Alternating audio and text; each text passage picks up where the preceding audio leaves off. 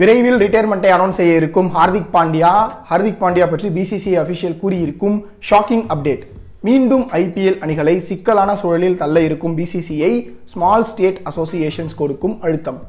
All forms of கிரிக்கெட்டிலிருந்து retire ஆகி ஐபிஎல்லில் கோச்சிங் ஸ்டாஃப் ரோலில் களமிறங்க இருக்கும் ஸ்டார் இந்தியன் பிளேயர் கேகேஆர் தனக்கு எவ்வளவு முக்கியம் என கூறியிருக்கும் ஆண்ட்ரே ரசல் மேலும் பல ஐபிஎல் கிரிக்கெட் அப்டேட்ஸ் தெரிஞ்சுக்கலாம். வாங்க டிசிஎன் நேர்களுக்கு வணக்கம்.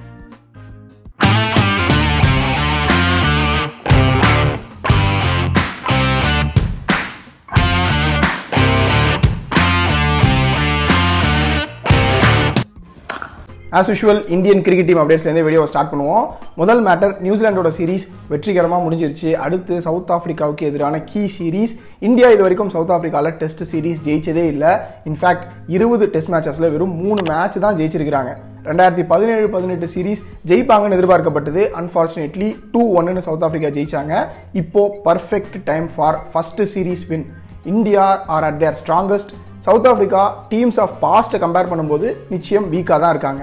ஒமிக்ரான் வைரஸ் ஸ்கேர் காரணமாக இந்த சீரீஸ் நடக்குமான ஒரு பிரச்சனை இருந்துச்சு. பட் டி ட்வெண்ட்டி சீரீஸை மட்டும் கேன்சல் பண்ணிவிட்டு மூணு டெஸ்ட் மேட்சஸ் அண்ட் மூணு ஓடிஐயை ஷெடியூல் பண்ணியிருக்காங்க பிசிசிஐ மற்றும் cricket South Africa latest schedule என்னன்னா டிசம்பர் இருபத்தி ஆறு ஸ்டார்ட் ஆகுது first test in Centurion then Johannesburg மற்றும் கேப் டவுனில் அடுத்தடுத்த டெஸ்ட் மேட்சஸ் நடக்க இருக்கு. ஓடிஐ பொறுத்த வரைக்கும் பாலில் ரெண்டு ஓடிஐஸ் அண்ட் கேப் டவுனில் ஒரு ஓடிஐ நடக்க இருக்குது டெஸ்ட் சீரீஸ்க்கான சவுத் ஆஃப்ரிக்கா டீமை ஆல்ரெடி அனௌன்ஸ் பண்ணிட்டாங்க. இந்தியன் டீமை பொறுத்த வரைக்கும் நிறைய டஃப் கால்ஸ் எடுக்க வேண்டியிருக்கு. ரஹானே புஜாரா சுப்மன் கில் ஆகியோர ஸ்பாட்ஸில் டவுட்ஸ் இருக்கு. பிஹாரி மீண்டும் ஸ்குவாட்ல இடம் பிடிப்பாரான்னு தெரியல. ஃபாஸ்ட் பவுலர்ஸில் யாருக்கு இடம் கிடைக்கும்? இஷாந்த் சர்மா டிராப் செய்யப்படுவாரான்னு டூ மெனி செலெக்ஷன் கால்ஸ் எடுத்தாகணும். ஆல்சோ டெஸ்ட் வைஸ் கேப்டன் யார்? ரஹானேவோட பிளேஸ் இந்த ஸ்குவாடே டவுட்டாக இருக்கிறதால டெஸ்ட் வைஸ் கேப்டன்சி ரோஹித் அல்லது கே எல் ராகுலுக்கு கொடுக்கப்படலாம்னு சொல்கிறாங்க ஓடிஐ கேப்டன்சியை பொறுத்த வரைக்கும் மேபி ரோஹித் சர்மா கிட்ட ஃபுல் டைமாக ஹேண்ட் ஓவர் செய்யப்படலாம். இன்னும் கிளியர் டீட்டெயில்ஸ் இல்லை பட் இந்த சீரீஸ் ஆர் அடுத்த ஓடிஐ சீரீஸில் விராட் கிட்டே இருந்து ரோஹித்துக்கு ஓடிஐ கேப்டன்சி மாறும்னு எதிர்பார்க்கப்படுது. டெஸ்ட் கேப்டன்சி தொடர்ந்து கோலி கிட்ட தான் இருக்கும். அதில் எந்த மாற்றமும் இல்லை. அடுத்தடுத்த அப்டேட்ஸை பார்க்கறதுக்கு முன்னாடி டிசிஎன் குவிஸ் கொஷினை பார்த்துடலாம். இன்னைக்கான கேள்வி ஆப்வியஸ்லி டெஸ்ட் கிரிக்கெட் பற்றி தான். நிறைய பேர் இந்த ஸ்டாட்டை பார்த்துருக்கலாம். ஸோ இன்னைக்கு ரொம்ப நிறைய ரைட் ஆன்சர்ஸ் வரும்னு நினைக்கிறேன். ஓடிஐ டெஸ்ட் அண்ட் டி டுவெண்ட்டிங்கிற மூணு ஃபார்மேட்லையும் ஐம்பது விக்ட்ரிகளை பார்ட் ஆஃப் த டீமாக இருந்து பெற்ற ஒரே பிளேயர் யார்? ஓடிஐயில் ஃபிஃப்டி ப்ளஸ் வின் டெஸ்ட்டில் fifty wins and T twenty fifty plus win clue இதுக்கெல்லாம் க்ளூ கேட்குறதே தப்பு. வீடியோ பாஸ் பண்ணிட்டு உங்கள் ஆன்சரை கமெண்ட்ஸில் டைப் பண்ணுங்கள் வீடியோ என்ன ஆன்சர் சொல்கிறேன் ஆஸ் யூஷுவல் கரெக்டாக இருக்கான்னு செக் பண்ணிக்கோங்க. விரைவில் ரிட்டையர்மெண்ட்டை அனௌன்ஸ் செய்கிறாரா ஹார்திக் பாண்டியா? பிசிசிஐ அஃபிஷியல் கூறியிருக்கும் ஷாக்கிங் தகவல். ஒரு காலத்தில் எனக்கு ராஜாவான்னா வாழுறேன் அப்படின்னு சந்தோஷமாக இருந்தவர் தான் ஹார்திக் பாண்டியா. அவரோட ஸ்பாட்டுக்கு போட்டி இருந்ததே இல்லை. அப்படி இருந்தாலும் அது ஹார்திக்கோட ஸ்பாட்டுக்கு ஒரு சதவீதம் கூட பிரச்சனையாக இருந்ததில்லை. பட் ரீசெண்ட் டைம்ஸில் அவருடைய batting form and inability to bowl பாண்டியாவோட cricket வாழ்க்கையையே தலைகீழாக மாற்றிடுச்சு சாரி ஏகே கீழாக மாற்றிடுச்சு மும்பை இந்தியன்ஸ் கூட அவரை ரிலீஸ் பண்ணிட்டாங்க. இந்தியன் டீமில் எந்த ஃபார்மேட்லையும் ஹார்திக்கு ஸ்பாட் இருக்கிற மாதிரி தெரியல. இப்போ பாண்டியா பற்றி ஒரு பிசிசி அஃபிஷியல் என்ன சொல்லியிருக்காருன்னா ரீசெண்ட் டைம்ஸில் அவர் இன்ஜுரியால் ரொம்ப ஸ்ட்ரகிள் பண்ணிட்டு இருக்காரு எங்ககிட்ட கிட்ட confirm பண்ணலைனாலும் he is considering test retirement our white ball கிரிக்கெட்டில் ஃபோக்கஸ் பண்ண விரும்புகிறாரு எனிவே அவர் எங்களோட ரெட் பால் பிளான்ஸில் இல்லை. Still it will be a big loss we have to prepare for a proper பேக்கப்னு சொல்லியிருக்காரு. லிமிடெட் ஓவர்ஸ் கிரிக்கெட்னு பார்த்தா கூட இந்தியன் டொமஸ்டிக் ஓடிஐ காம்படிஷனான விஜய் ஹசாரே டோர்னமெண்ட்டில் இந்த இயர் ஹார்திக் ஆட போகிறது இல்லை இன்ஜுரி ரீஹபிலிட்டேஷன் காரணமாக அதை ஸ்கிப் பண்ண இருக்காரு. எப்படி இருந்த பங்காளி நீ அப்படின்னு கேட்க தான் தோணுது. மறுபடியும் பழைய பன்னீர்செல்வமாக வந்தால் நல்லாயிருக்கும் விரைவில் ஆல் ஃபார்ம்ஸ் ஆஃப் கிரிக்கெட்டிலிருந்து ரிட்டையர்மெண்ட்டை அனௌன்ஸ் செய்ய இருக்கும் ஹர்பஜன் சிங் ஐபிஎல்லில் கோச்சிங் ஸ்டாஃப் ஆக பேச்சுவார்த்தை. ஹர்பஜன் சிங்கை பார்த்தோம்னா அவரோட கிரிக்கெட் கரியர் ஆல்மோஸ்ட் ஓவர் தான்.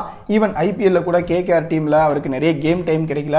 ஸோ ஐபிஎல் இரண்டாயிரத்தி இருபத்தி ரெண்டு மெகா ஆக்ஷனில் அவர் கலையிறங்கினா டீம்ஸ் அவரை பிக் பண்ணுவாங்களா? பிக் பண்ணாலும் மேட்சஸ் ஆட வாய்ப்பு கிடைக்குமான்னு யோசிச்சா மேஜர் டவுட் தான். ஸோ ஐபிஎல் உட்பட ஆல் ஃபார்ம்ஸ் ஆஃப் கிரிக்கெட்லேருந்து விரைவில் ரிட்டையர்மெண்ட் அனௌன்ஸ் பண்ணிருக்கிறாரு ஹர்பஜன் சிங்னு பிடிஐயில் நியூஸ் வந்திருக்கு. அப்போது அடுத்து அப்படின்னு கேட்குறவங்களுக்கு வேற என்ன? ஐபிஎல் தான். பட் பிளேயராக இல்லை கோச்சிங் ஸ்டாஃபாக ஒரு ஐபிஎல் சோர்ஸ் என்ன சொல்லியிருக்காருன்னா ஒரு மேஜர் ஃப்ரான்ச்சைஸோட ஹர்பஜன் சிங் டிஸ்கஷனில் இருக்காரு.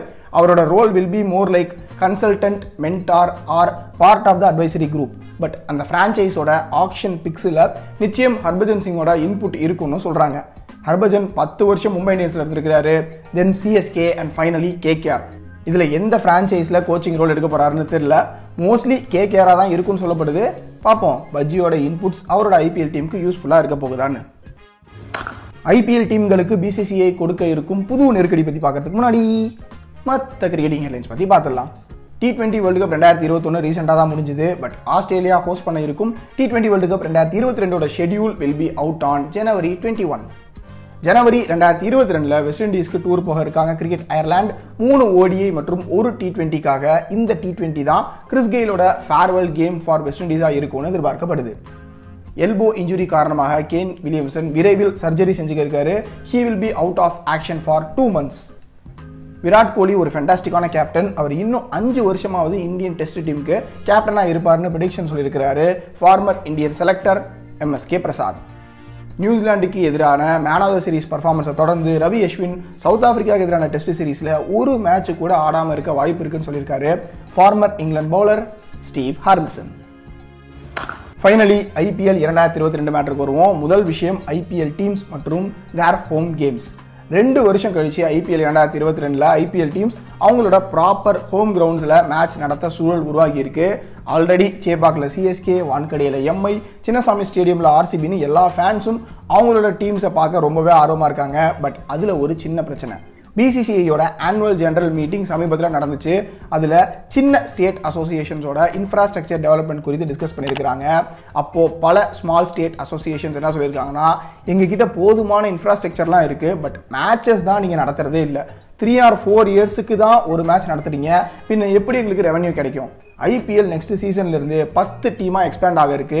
எல்லா டீமும் ரெண்டு மேட்ச் நியூட்ரல் வென்யூவில் ஆடணும்னு நீங்கள் ரூல் கொண்டு வந்தால் எங்களை மாதிரி ஸ்மால் அசோசியேஷன்ஸுக்கு அது ரொம்பவே யூஸ்ஃபுல்லாக இருக்கும்னு சொல்லியிருக்காங்க. பிசிசிஐ இதை கேட்டுட்டு உங்கள் கோரிக்கையே நியாயமாக தான் இருக்குது ஸோ நாங்கள் ஐபிஎல் ஃப்ரான்ச்சைசஸோட டிஸ்கஸ் பண்ணிவிட்டு முடிவு சொல்கிறோன்னு சொல்லியிருக்காங்க. ஆனால் இது ஐபிஎலுக்கு ஒன்றும் புதுசு கிடையாது. இதுக்கு முன்னாடி கூட சென்னை வந்து ராஞ்சியிலையும் டெல்லி ராய்ப்பூர் கேகேஆர் ஒடிஷா பஞ்சாப் தரம்சாலா மற்றும் இந்தோர்லலாம் ஆடிருக்காங்க ஸோ இன் ஃபியூச்சர் அஞ்சு மேட்சஸ் ஹோம் ஸ்டேடியம்லையும் ரெண்டு மேட்சஸ் நியூட்ரல் ஸ்டேடியம்லையும் டீம்ஸ் ஆட வேண்டிய சூழல் வரலாம். அடுத்து ஆண்ட்ரே ரசல் பற்றி ஒரு செம நியூஸ் அவர்கிட்ட ஒரு ரீசெண்ட் இன்டர்வியூவில் நாலு மில்லியன் கொடுத்தா வேறு ஐபிஎல் டீமுக்கு போவீங்களான்னு கேட்டதுக்கு நானூறு மில்லியன் கொடுத்தாலும் கேகேஆரை விட்டு போக மாட்டேன். KKR to me is more than மணின்னு சொல்லியிருக்காரு. கண் கலங்க வச்சுட்டிங்களே ரசல். இதே மாதிரி ஒரு ஸ்டேட்மெண்ட்டாக ராய்டுவும் சொல்லியிருக்காரு. என்னை சிஎஸ்கே ரீடைன் பண்ணலைனாலும் ஆக்ஷன் மூலமாக மீண்டும் சிஎஸ்கேவுக்கு போக தான் எனக்கு விருப்பம்னு சொல்லியிருக்காரு. ஃபைனலி ஐபிஎல்ல ஒரு ஃப்ரான்ச்சைஸ்க்கு கோச்சா இருக்கிற ஆஃபர் வந்தா அக்செப்ட் பண்ணுவீங்களாங்கிற கேள்விக்கு ரவி சாஸ்திரி என்ன சொல்லியிருக்காருன்னா ஏதாவது ஒரு டீம் என்ன அப்ரோச் பண்ணால் I would hundred percentage like to be an IPL team கோச்னு so mostly IPL இரண்டாயிரத்தி இருபத்தி ரெண்டில் ரவி ஜியை கோச்சிங் ரோலில் பார்க்கலாம். வீடியோ அப்டேட் வரதுக்கு முன்னாடியே இன்ஸ்டன்ட் அப்டேட்ஸ் வேணும்னா நம்ம சேனலோட இன்ஸ்டாகிராம் அக்கௌண்ட்டை ஃபாலோ பண்ணுங்கள் அண்ட் நம்ம TCN channel is available in both Telegram and Clubhouse அதுலேயும் நீங்கள் டிசிஎனை ஃபாலோ பண்ணலாம். எல்லா லிங்க்கும் டிஸ்கிரிப்ஷன் அண்ட் ஃபஸ்ட்டு கமெண்ட்டில் இருக்குது ஹார்திக் பாண்டியா மேபி டெஸ்ட்டில் ரிட்டையர் ஆகலான்னு ஒரு பிசிசி அஃபிஷியல் சொல்லியிருக்காரு. ஒரு இந்தியன் ஃபேனாக உங்கள் ஒப்பீனியன் என்ன? ஹார்திக் டெஸ்ட்டில் ரிட்டையர் ஆகலாமா அல்லது தொடர்ந்து ஆடலாமா? டி ட்வெண்ட்டி கேப்டன்சியை ஆல்ரெடி ரோஹித் சர்மா கிட்ட கொடுத்தாச்சு. What about ODI captaincy Kohli தொடரலாமா அல்லது ரோஹித் கொடுக்கலாமா? உங்கள் தாட்ஸ் என்ன? ஐபிஎல் டீம்ஸ் ரெண்டு ஹோம் மேட்சஸை நியூட்ரல் வென்யூவில் ஆடுறது பற்றி நீங்கள் என்ன நினைக்கிறீங்க? உங்கள் கமெண்ட்ஸை கமெண்ட் செக்ஷனில் சொல்லுங்கள் வீடியோவை முடிக்கிறதுக்கு முன்னாடி குவிஸ் கொஷனுக்கான ஆன்சர் சொல்லிடுறேன். மூணு ஃபார்மேட் ஆஃப் கிரிக்கெட்லேயும் இன்டர்நேஷனல் லெவலில் ஃபிஃப்டி ஆர் மோர் வின்ஸில் பார்ட்டாக இருந்திருக்கிற ஒரே பிளேயர் இஸ் தானை தலைவன் விராட் கோலி. வேற லெவல் ரெக்கார்ட் விரைவில் எந்த பிளேயரும் இதை ஈக்குவல் பண்ணுவார்னு எனக்கு தோணல. ஓகே வீடியோ பிடிச்சிருந்தா லைக் ஷேர் பண்ணிவிட்டு டிசியான சோஷியல் மீடியாவில் ஃபாலோ பண்ணுங்கள் stay home stay safe get vaccinate வெரிஃபிகேன் அடுத்த வீடியோவில் சந்திப்போம். நன்றி வணக்கம்.